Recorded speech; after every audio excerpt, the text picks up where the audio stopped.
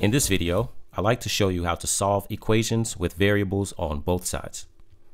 And I'll demonstrate how to do this with the equation 5x plus 2 equals 3x plus 8.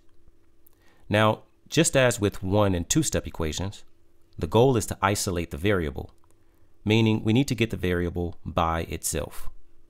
So in the end, we want to show what the variable is equal to. In this case, we have the variable term 5x on the left side of the equal sign, and on the right side of the equal sign, we have the variable term 3x.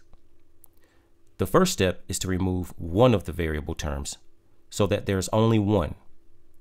Now, you can decide to remove 5x or you can remove 3x. I recommend removing the smallest variable term since removing the largest one would involve negative numbers, which just adds onto your list of things to do while solving the equation. So for that reason, I'm going to remove 3x. Well, how do you remove 3x? Well, you'll notice that the coefficient 3 is positive. So, in order to remove the variable term 3x, I'll need to use the opposite operation, which is subtraction. So to remove 3x from the right side of the equal sign, I'm going to subtract 3x from the right side of the equal sign.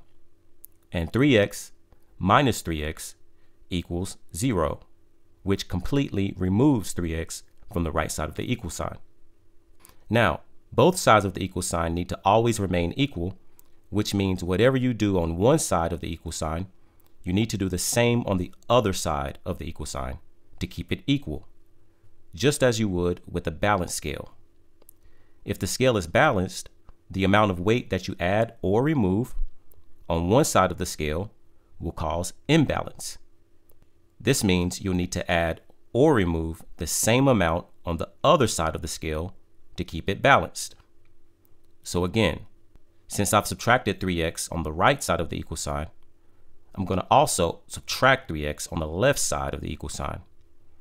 And 5x minus 3x equals 2x.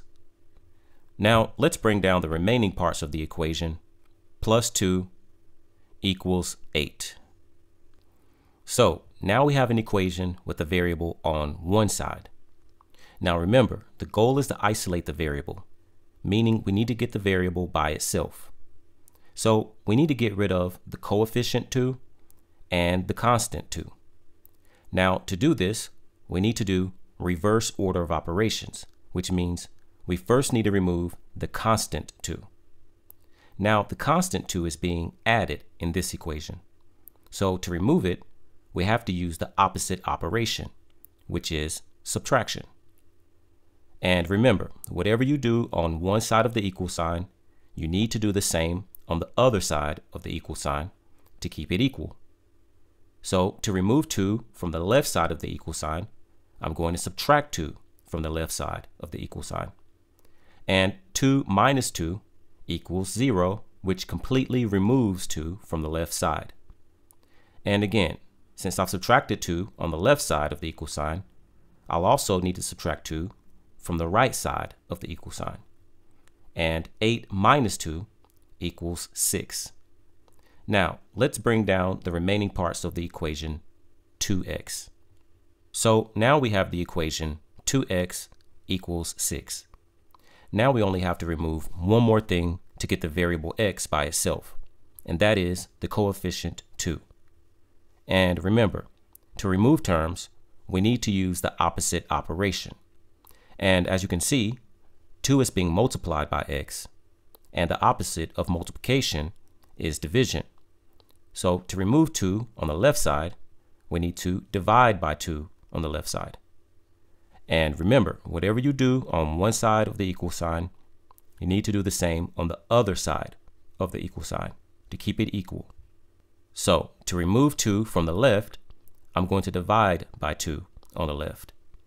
And 2 divided by 2 equals 1, which completely isolates the variable x. And the reason this isolates the variable x is because 1 multiplied by any number equals whatever that number is. So we can bring down the variable x without writing the number 1 next to it. And again, since I've divided by 2 on the left side of the equal sign, I'll also need to divide by 2 on the right side of the equal sign. And 6 divided by 2 equals 3. So x is equal to 3. If you like this video, please subscribe to Mr. McLean Math. And also, be sure to click all so that you get notifications when new math videos are uploaded. Thank you for watching.